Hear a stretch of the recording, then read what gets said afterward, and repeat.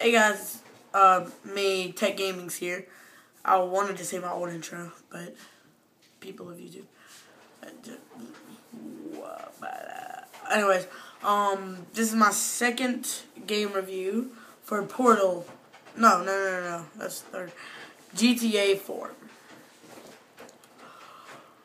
Nothing bad. the game's awesome, even with the updates that they came out to where they fix bugs and everything. The game's just awesome.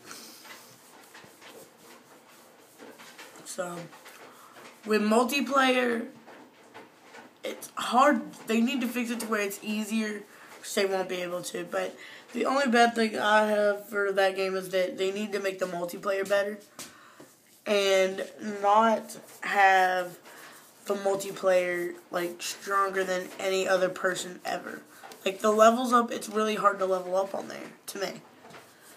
Uh, which to me it is because for one, I suck at it, and for two, I don't play multiplayer like that. I play either party mode.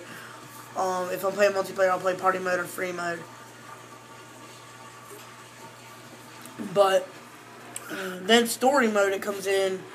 It's cool how they have like if you have every single one like The Lost and Damned, uh, Ballad of Gay Tony, and Grand Theft Auto 4 you have all three of those, then it's actually pretty cool because they the way they have is they just they come in together. So to me, it's cool how they do that. Sorry, my camera's shaking a lot. So I'm holding my phone in my hand, so it's gonna shake a lot.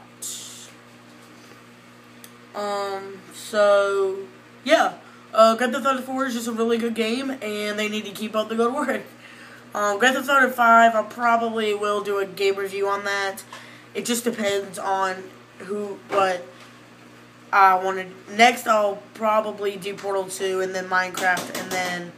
Sorry about that, guys. But then Grand Theft Auto 5 because. No, I haven't played Grand Theft Auto 5, so I can't say anything about that game yet. I'll decide what I'll do for um, all the other game reviews. See you next time, guys. Thanks for watching this game review. Don't forget to rate, comment, subscribe to me become one of the tech members. I'll see you next time, guys.